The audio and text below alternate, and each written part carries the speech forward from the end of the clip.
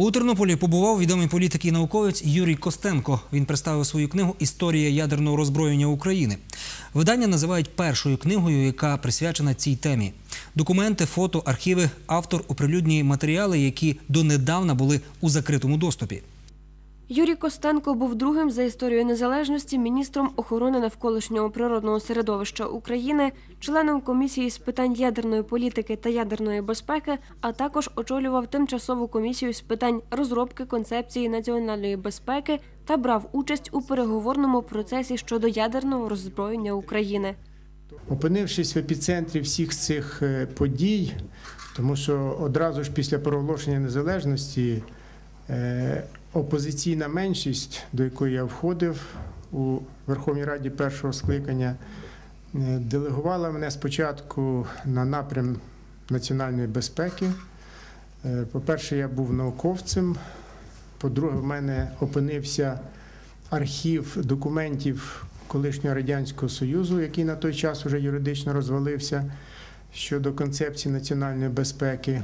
Задум написати цю книгу з'явився ще у 90-х роках, однак впорядкувати матеріали, а це крім документів, стенограми, публікації, вдалося лише протягом останніх двох років. До того ж, нині це питання знову стало актуальним. На думку Юрія Костенка, якщо ядерної зброї наша держава змушена була позбутись, то ядерні матеріали були важливою складовою української економіки. Ядерні матеріали це колосальна цінність, не тільки військова, але і матеріальна. На виробництво однієї тони високозбагаченого урану, е, за даними знову ж таки преси, тому що торгівлі міжнародної тим більше немає цими ядерними матеріалами, заборонено договором про нерозповсюдження ядерної зброї.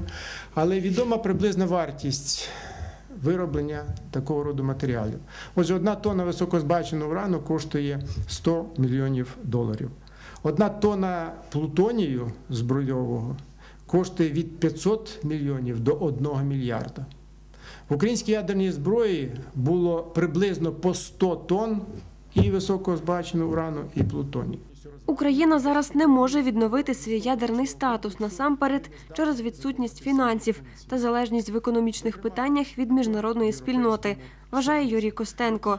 Мета його книги застерегти політиків від нових і схожих помилок 25-річної давності. В цій книзі представлена стратегія, яку розробила наша депутатська комісія робоча.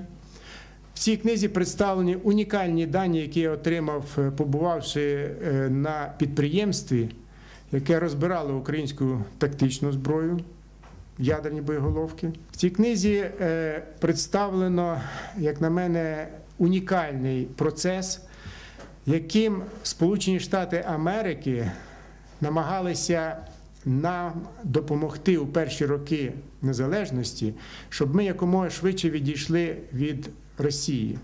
Чому Україна сьогодні залишилась один на один з російським агресором? Відповідь на це питання також можна знайти у книзі.